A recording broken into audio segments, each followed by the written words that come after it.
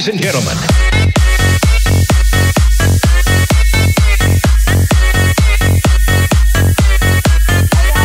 Today I am going to show you two cool magic tricks with this piece of paper and these balls. Balls. anyway, so they might they're cool to me and they might be cool to you. Anyway. So I'm gonna do the paper thing first. It's a math sum. 16 minus 9. So yeah, and it's pretty cool. So if you have like it's 16 minus 9. So right 16 minus 9. And then okay. Thing here. So when you minus minusing, so it's you can't do six. So you do this. I'm not looking for the answer. I'm just doing some. And then you just put the one there. It's 16 minus 9 again. How amazing is that?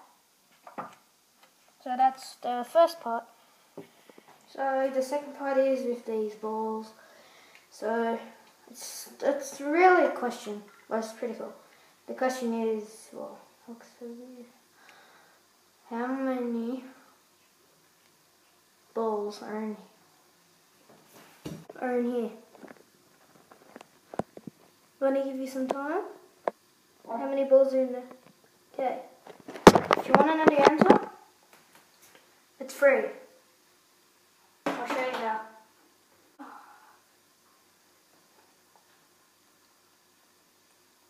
There's this clear ball.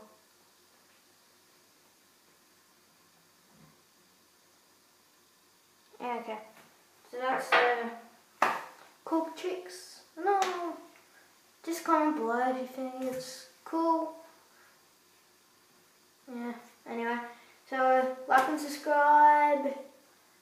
And yeah. Yeah. I can't think of anything else. I found another cool trick with these balls. I just, I took um, the, the things out there. So, yeah.